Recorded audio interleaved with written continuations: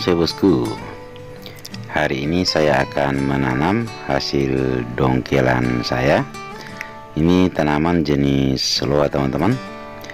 Bentuk karakternya sudah bagus. Ini sudah meliuk terbentuk secara alami. Nah ini kita lihat.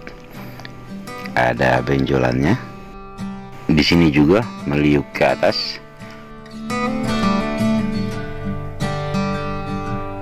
bentuknya sudah mantap bosku.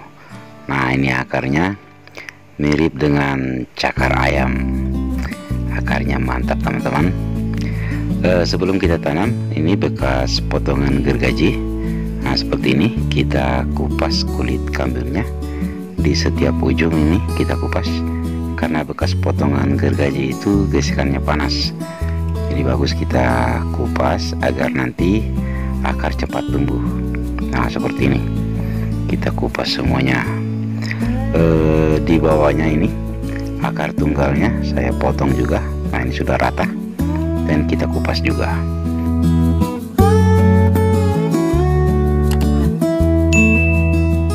Tanaman loa ini yang bagus kalau berbuah nanti teman-teman. Buahnya banyak di sekitar batang. Nah itu yang mantap. Oke bosku kita akan tanam ikuti terus videonya.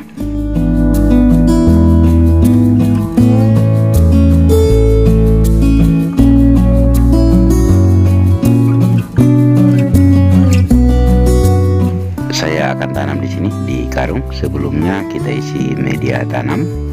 Media tanamnya ini dari campuran tanah pasir dan sekam padi dengan perbandingan satu banding satu nah, kita isi ketinggian media tanam sekitar 20 cm teman-teman. Ini lalu kita masukkan kita setel dulu. Kita atur agar bagus posisinya nanti. Akarnya lumayan lebar mencakar ini teman-teman.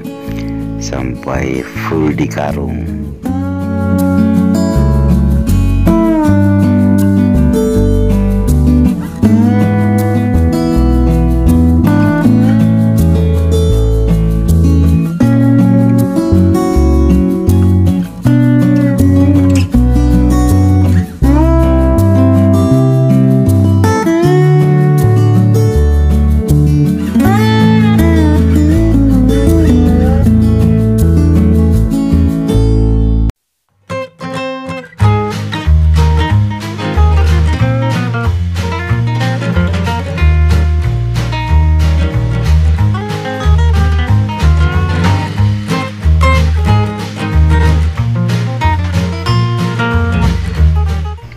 tanamnya ini kita rapatkan. Usahakan tidak ada rongga. Jadi rapat di sela-sela akar agar nanti akar baru cepat tumbuh. Sudah selesai saya tanam bosku ini kita lihat. Liukannya ada dua jadi sudah terbentuk secara alami. Ini saya dekatkan dulu kameranya biar lebih jelas kelihatan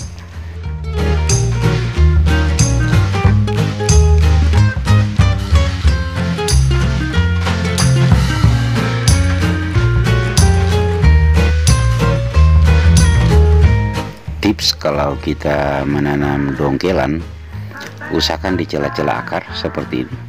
Media tanamnya itu kita rapatkan. Jangan sampai ada celah agar nanti akar cepat keluar. Nanti setelah kita ini kita siram media tanamnya akan lebih padat lagi teman-teman. Nah jadi biasanya loa ini tidak perlu kita sungkup karena kebetulan batangnya e, menyimpan air jadi cepat tumbuh walaupun tidak kita sungkup. Nah ini kita lihat dari dekat lagi. Nah ini bosku. Posisinya sudah bagus.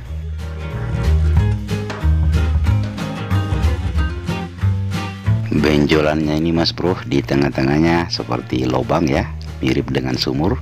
Itu bisa kita kerok lagi agar lebih dalam supaya penampilannya lebih menarik nah selanjutnya ini akan saya tempatkan dulu di tempat yang teduh sekitar satu bulan. Kita tunggu tunasnya tumbuh.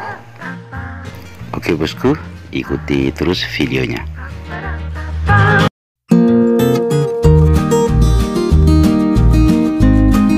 Ya teman-teman ini setelah 40 hari saya tanam tanpa disungkup. Nah ini kita lihat. Tunasnya sudah mulai panjang. Nah daunnya mengkilat bosku. Mengkilat karena belum kena sinar matahari. Nah rencananya eh, hari ini akan saya pindahkan agar bisa terkena sinar matahari. Nah ini bosku benjolannya kita lihat. Nanti benjolannya ini akan saya kerok. Uh, biar bisa lubangnya lebih dalam lagi nah sampai di pangkal batang bawah tumbuh tunas juga teman-teman. Nah di sini juga tumbuh tunas. Terus ke atas. Tunasnya banyak yang tumbuh mas bro. Ini akan saya los dulu. E, nanti pada saat kita akan bentuk pada saat kita akan kawati baru kita pilih e, tunas mana yang bagus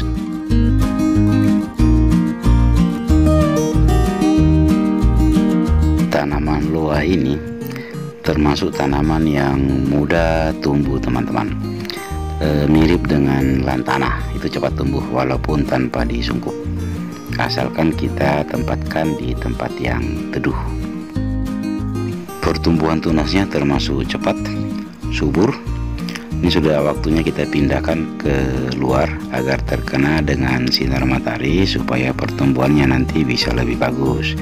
Nah ini benjolannya bosku yang bikin mantap karakternya nanti akan ini saya update terus perkembangan dari bahan bonsai loa ini Oke bosku, terima kasih sudah menonton. Sampai jumpa di video selanjutnya.